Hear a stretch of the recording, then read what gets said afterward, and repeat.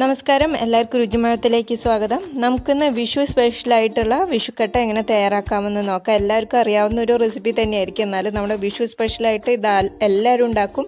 അഥവാ ആർക്കെങ്കിലും ഉണ്ടാക്കാൻ അറിയില്ല എന്നുണ്ടെങ്കിൽ തീർച്ചയായിട്ടും ഇത് കാണുക. എന്നിട്ട് ഈ വിഷുവിന് എന്തായാലും വിഷുക്കട്ട ഉണ്ടാക്കുക. അപ്പോൾ നമുക്ക് അതിന്റെ റെസിപ്പി എന്താണെന്ന് നോക്കാം.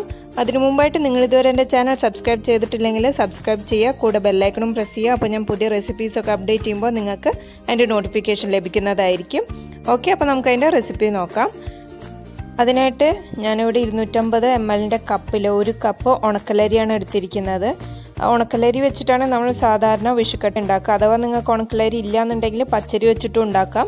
പക്ഷേ കൂടുതൽ ടേസ്റ്റ് ഉണക്കലരി വെച്ച് ഉണ്ടാക്കുന്നതാണ്. അപ്പോൾ ഇരുന്നൂറ്റമ്പത് എം എല്ലിന്റെ കപ്പിൽ ഒരു കപ്പ് ഉണക്കലരി ഞാൻ എടുത്തിട്ടുണ്ട്. അത് നമുക്ക് നന്നായിട്ട് കഴുകി ഒരു മണിക്കൂർ ഇതിനെ ഒന്ന് വെള്ളത്തിലിട്ട് വയ്ക്കാം ഒന്ന് സോക്ക് ചെയ്യാൻ വയ്ക്കാം ഓക്കെ ഇനി നമുക്ക് വിഷ്കട്ട് ഉണ്ടാക്കാനായിട്ട് ആവശ്യമായിട്ടുള്ള സാധനങ്ങൾ എന്തൊക്കെയാണെന്ന് നോക്കാം. ആദ്യം തന്നെ നമുക്ക് ഒരു കപ്പ് ഒന്നാം പാൽ വേണം. അതുപോലെ തന്നെ മൂന്ന് കപ്പ് രണ്ടാം പാലും നമ്മളിവിടെ എടുത്തിട്ടുണ്ട് തേങ്ങാപ്പാൽ അതുപോലെ നമുക്ക് രണ്ട് ടീസ്പൂൺ തേങ്ങ ചിരകിയത് വേണം. ഉപ്പ് ആവശ്യത്തിന്. അതുപോലെ അര ടീസ്പൂൺ ജീരകം. പിന്നെ നമ്മൾ ഒരു മണിക്കൂർ വെള്ളത്തിൽ കുതിർത്ത് വെച്ചിരിക്കുന്ന ഉണക്കലരിയാണിത്. നിങ്ങൾക്ക് ഉണക്കലരിക്ക് വേണമെങ്കിൽ നമുക്ക് ഇവിടെയൊക്കെ ഇപ്പോൾ പായസരി എന്ന് പറഞ്ഞിട്ട് മേടിക്കാൻ കിട്ടും ഉണക്കലരിക്ക് പകരം. അഥവാ ഇത് രണ്ടും കിട്ടിയില്ല എന്നുണ്ടെങ്കിൽ നിങ്ങൾക്ക് പച്ചരി യൂസ് ചെയ്യാം. പക്ഷെ കൂടുതൽ ടേസ്റ്റ് ഉണക്കലരി യൂസ് ചെയ്യുന്നതാണ്. ഓക്കെ ഇനി നമുക്ക് ഒരു പാൻ അടുപ്പത്ത് വെച്ച് കൊടുക്കാം. ഇനി ഇത് നന്നായി ചൂടായി വരുമ്പോൾ അതിലേക്ക് നമുക്ക് രണ്ടാം പാൽ ചേർത്ത് കൊടുക്കാം. മൂന്ന് കപ്പ് രണ്ടാം പാലാണ് നമ്മൾ ഇതിലേക്ക് ചേർക്കുന്നത്. ഇത് നന്നായിട്ട് തിളച്ച് വരണം. തിളച്ച് വരുമ്പോഴാണ് നമ്മൾ ഇതിൽ അരിയിട്ട് നന്നായിട്ട് വേവിച്ചെടുക്കുന്നത്. ഞാനിവിടെ രണ്ട് തേങ്ങയാണ് എടുത്തിരിക്കുന്നത്. തേങ്ങാപ്പാൽ എടുക്കാൻ വേണ്ടിയിട്ട്. അതിൽ മൂന്ന് ടീസ്പൂൺ വെള്ളം തളിച്ച് നന്നായി കൈവച്ച് തിരുമ്മിയിട്ടാണ് നമ്മൾ ഒന്നാം പാൽ പിഴിഞ്ഞെടുത്തിരിക്കുന്നത്. അതുപോലെ തന്നെ നമ്മൾ രണ്ടാം പാലിന് വേണ്ടിയിട്ട് രണ്ടര കപ്പ് വെള്ളം സെയിം നാളികേരത്തിലേക്ക് ഒഴിച്ച് നന്നായിട്ട് മിക്സിയിൽ അടിച്ചതിന് ശേഷം പിഴിഞ്ഞെടുത്തപ്പോഴാണ് നമുക്ക് മൂന്ന് കപ്പ് രണ്ടാം പാൽ കിട്ടിയിരിക്കുന്നത്. ഓക്കെ അപ്പോൾ ഇങ്ങനെയാണ് നമ്മൾ തേങ്ങാപ്പാൽ എടുത്തിരിക്കുന്നത്. ഇപ്പം നിങ്ങൾക്ക് കാണാം നമ്മുടെ തേങ്ങാപ്പാൽ നന്നായിട്ട് തിളച്ചു വരാൻ തുടങ്ങിയിട്ടുണ്ട്. നമുക്ക് ഇടയ്ക്കൊന്ന് ഇളക്കി കൊടുക്കണം. ഇനി ഇതിലേക്ക് നമുക്ക് നമ്മൾ നന്നായിട്ട് കഴുകി ഊറ്റി വെച്ചിരിക്കുന്ന അരിയിലേക്ക് ചേർത്ത് കൊടുക്കാം. ഉണക്കലരിയാണ്. നന്നായിട്ട് ഡ്രെയിൻ ചെയ്തിട്ട് ഇതിലേക്ക് ഇട്ട് കൊടുക്കാം. ഇനി നമുക്കിതിനെ ഒന്ന് ഇളക്കി കൊടുക്കണം.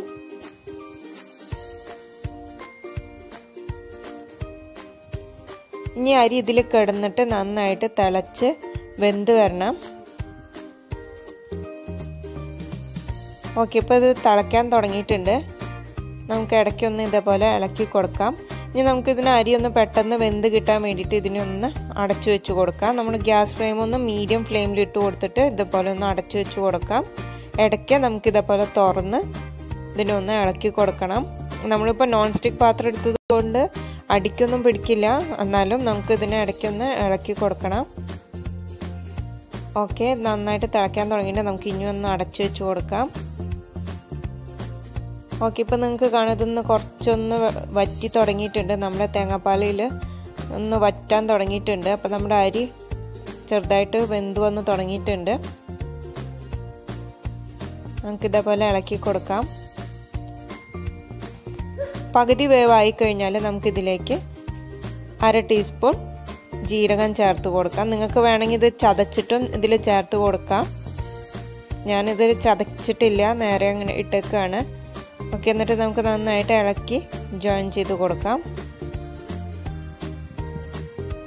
ഇനി നമുക്ക് ഗ്യാസ് ഫ്ലെയിം ഒന്ന് ലോയിലിട്ട് കൊടുക്കാം. അല്ലെങ്കിൽ ഇത് പെട്ടെന്ന് വറ്റിപ്പോവും. ലോയിലിട്ട് ഞാൻ നന്നായിട്ട് ഇളക്കി കുറേ സമയത്തിന് ശേഷമാണ് ഇതിങ്ങനെ വറ്റി തുടങ്ങിയിരിക്കുന്നത്. ഇതിലെ തേങ്ങാപ്പാലൊക്കെ നന്നായിട്ട് വറ്റുന്നവരെ നമുക്ക് ഇളക്കി കൊടുക്കാം. ഓക്കെ നന്നായിട്ട് വറ്റിക്കഴിഞ്ഞാൽ നമുക്കിതിലേക്ക് ഒന്നാം പാൽ ചേർത്ത് കൊടുക്കാം. നല്ല കട്ടിപ്പാലാണ്. നന്നായിട്ട് ഇളക്കി കൊടുക്കാം. നമ്മളിതിൽ ഉപ്പ് ചേർത്തിട്ടില്ല. ഇനി ഇതിൽ കിടന്ന് നമ്മുടെ അരി ഒന്നും കൂടെ ഒന്ന് നന്നായിട്ട് പാകത്തിന് വെന്ത് വരണം.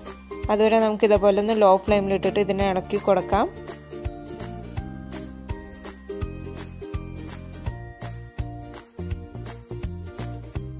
ഓക്കെ ഇത് തിളയ്ക്കാൻ തുടങ്ങിയിട്ടുണ്ട്. ഇനി നമുക്കിതിലേക്ക് ഉപ്പ് ചേർത്ത് കൊടുക്കാം. ഞാൻ ഏകദേശം ഒരു അര ടീസ്പൂൺ ഉപ്പ് ചേർത്തിട്ടുണ്ട്. നിങ്ങളുടെ ടേസ്റ്റിനനുസരിച്ച് അതിനെ ചേർക്കുക. എന്നിട്ട് നന്നായിട്ട് ഇളക്കി കൊടുക്കാം. നമ്മുടെ ഈ പാൽ തേങ്ങാപ്പാൽ നന്നായിട്ട് വറ്റി വരണം. അതുവരെ നമുക്കൊന്ന് ഇളക്കി കൊടുക്കാം. ഓക്കെ ഇപ്പം നിങ്ങൾക്ക് കാണാൻ ചെറുതായിട്ട് വറ്റി വന്ന് തുടങ്ങിയിട്ടുണ്ട്. ഇത് സൈഡിൽ നിന്നൊക്കെ നന്നായിട്ട് വിട്ട് വരണം.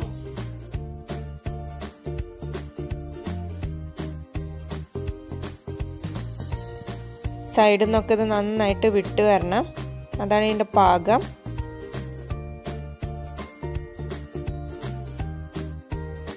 ഓക്കെ ഇത് നന്നായിട്ട് ഡ്രൈ ആയി വന്നിട്ടുണ്ട്. ഇനി നമുക്കിതിലേക്ക് തേങ്ങ ചിരകിയത് ചേർത്ത് കൊടുക്കാം. രണ്ട് ടീസ്പൂണോളം നമുക്കിതിൽ ചേർത്ത് കൊടുക്കാം. എന്നിട്ട് നന്നായി മിക്സ് ചെയ്ത് കൊടുക്കുക.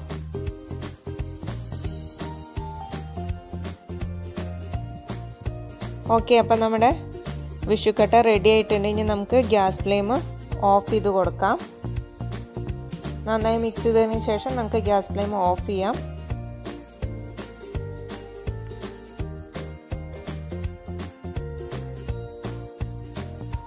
ഓക്കെ ഇനി നമുക്ക് ഇതേപോലെ ഒരു പ്ലേറ്റ് എടുക്കാം. എന്നിട്ട് അതിൽ കുറച്ച് ഓയിൽ ഇതേപോലെ ഒന്ന് ഗ്രീസ് ചെയ്ത് കൊടുക്കാം.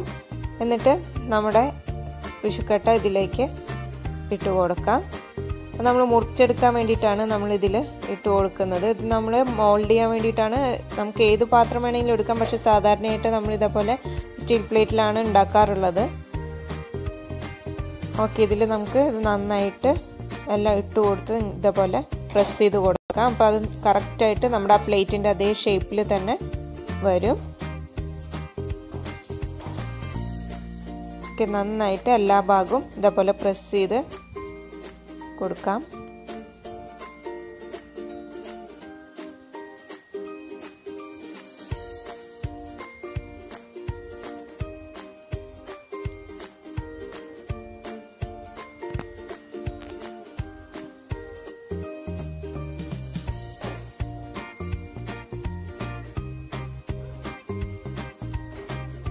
ഓക്കെ ഇപ്പം നമ്മൾ എല്ലാം ഒരേപോലെ ഈവനായിട്ട് ഇത് പ്രസ് ചെയ്ത് കൊടുത്തിട്ടുണ്ട്. നല്ല കറക്റ്റ് ഇതിൽ വെച്ചിട്ടുണ്ട്. ഇനി നമുക്ക് ഇതിനെ വേറൊരു ബൗളിലേക്ക് മാറ്റാം.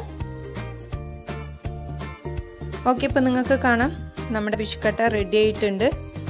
നമ്മുടെ പ്ലേറ്റിന്റെ അതേ ഷേപ്പിൽ നമുക്ക് നല്ല കറക്റ്റ് ഷേപ്പിലായിട്ട് കിട്ടിയിട്ടുണ്ട്. ഇനി നമുക്ക് ഇതിനെ മുറിച്ച് സെർവ് ചെയ്യാം. നമുക്ക് ഇതിന്റെ മീത വേണമെങ്കിൽ ശർക്കര പാനി ഒഴിച്ച് വെക്കാം നമ്മൾ മുറിച്ചതിന് ശേഷം മീതെ ശർക്കരപ്പാനി നമുക്ക് ഒഴിച്ച് കൊടുക്കാം. അല്ലാന്നുണ്ടെങ്കിൽ നമുക്കത് സെപ്പറേറ്റ് വെച്ച് കഴിക്കുന്ന നേരത്ത് മാത്രം മിക്സ് ചെയ്തിട്ട് കഴിക്കാം. അത് നിങ്ങളുടെ ഇഷ്ടം പോലെ നമുക്ക് കഴിക്കാവുന്നതാണ്. നമുക്ക് ഏത് ഷേപ്പിലുള്ള പ്ലേറ്റ് വേണമെങ്കിലും എടുക്കാം. അതേ ഷേപ്പിൽ നമുക്കിത് നല്ല സോഫ്റ്റ് ആയിട്ട് കിട്ടും. ഓക്കെ ഇനി നമുക്കിതിനെ ഇതുപോലെ കത്തി വെച്ചിട്ട് മുറിച്ചെടുക്കാം. നമ്മുടെ ആവശ്യത്തിനുള്ള വലുപ്പം അനുസരിച്ച് ഇതേപോലെ മുറിച്ചെടുക്കാം.